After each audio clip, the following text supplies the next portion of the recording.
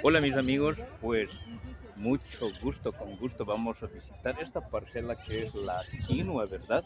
La quinoa tropicalizada. Ahorita vamos al ingeniero, lo vamos a entrevistar y vamos a estar viendo interesante. Se llama el nombre quinoa achachairú, ahí al fondo del letrerito.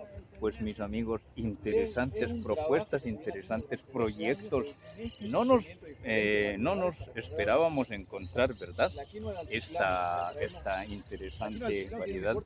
Pues eh, la quinoa produciendo acá en, estas tierras cálidas que es Santa Cruz de la Sierra, pues vamos a entrevistarlo y ver cómo es que funciona. Así que, mis amigos, interesante, pues eh, ahí están también nuestros amigos de los,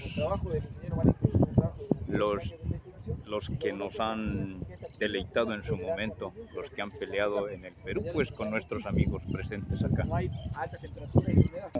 Muy buenos días mis amigos, mira que nos estamos sorprendiendo bastante con este tema de la quinoa. Le vamos a presentar al ingeniero.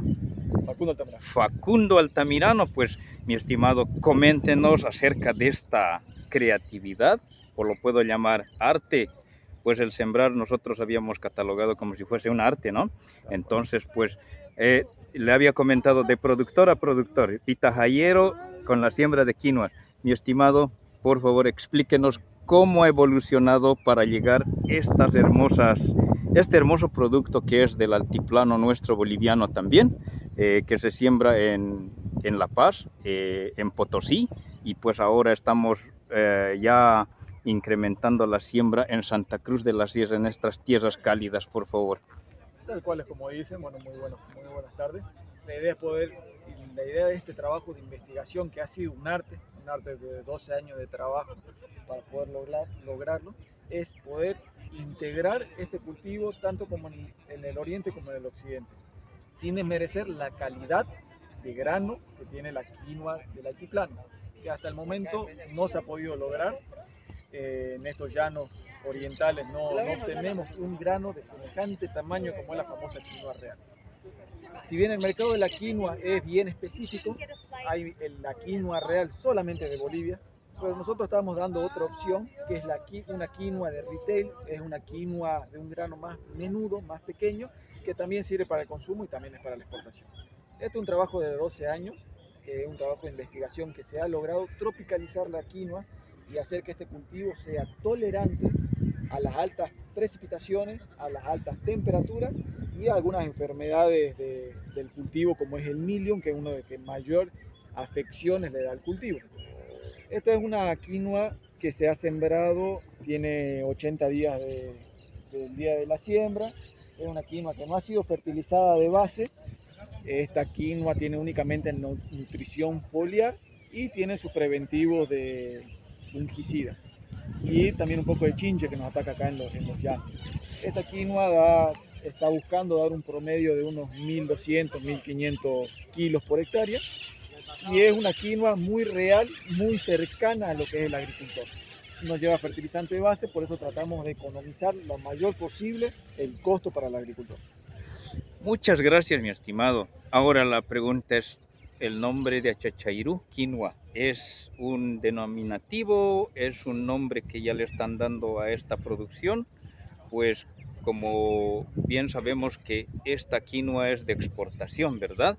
Y pues necesitamos nosotros sembrar mucho más. Y justamente en estos canales de YouTube pues mostramos a manera de pues incentivarlos a los nuevos emprendedores, por ejemplo, en la producción de pitahayas que yo le comentaba, la producción de quinoa, que es una novedad también en este medio.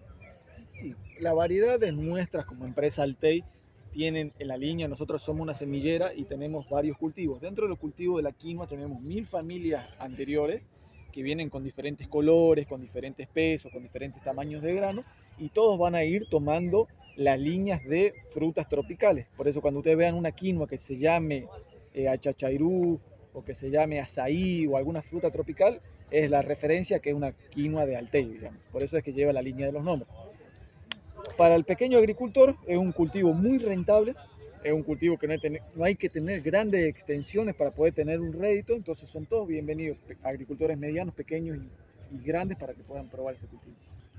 Muchas gracias, mi estimado amigo. Mira, como le había dicho, de productor a productor conversamos muy interesante y pues de, de seguro que le vamos a estar visitando en algún campo de producción que ustedes tienen y de seguro que también le vamos a estar comprando la semilla. Así que hasta luego, que no sea la Muchísimas última y la primera, pues vamos a estar compartiendo siempre. Muchas gracias. ¿te puedo, te puedo meter en el video al rector de la Universidad, la Gabriel René Moreno? Fertilizante, que es lo que le da un agricultor convencional sin gastar mucha plata. Lo, de usted, lo que hicimos en el campo usted fue eh, con toda la pulpa. Todo ¿no? el paquete, todo el paquete. Qué bien, que qué bien. Esta es una quinoa que ya está casi llenada de grano, está una- unos días de cortar, pero no está alta porque tratamos de mostrar eso, una quinoa Ah, de campo, bruta. Y que puede ser accesible a cualquier Es productor. una quinoa que da 250 dólares de costo, con una tonelada vale 700, y el productor gana 500 dólares en vez de no sembrar nada en el invierno. Bien, en vez de estar bien, invirtiendo en fertilizante de base. bien. Esa es la idea de la muestra. Excelente, excelente, Facundo. Bueno, caballeros, un placer verlo. Una foto, con juicio. una foto. Aquí, por favor. Aquí, por favor.